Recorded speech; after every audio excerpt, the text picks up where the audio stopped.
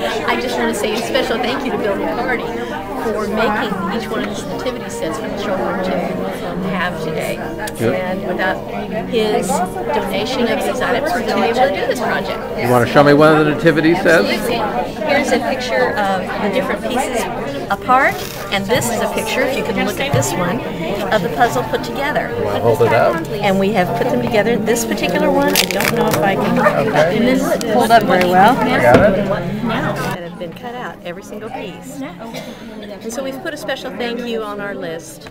You can paint all of these, okay? Let me show you how to go about this. You can stick your pieces right there, and you can paint them just like that. Alright?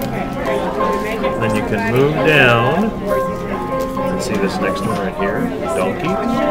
Where's the donkey on here? Do you see the donkey? Okay. Good job. You can stick it on the tape if you want.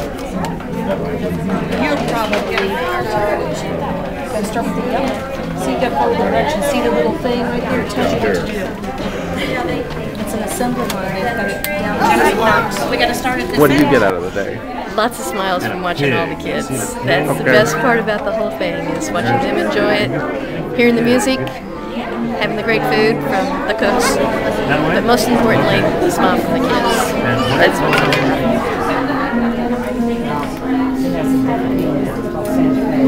Okay, Maddie.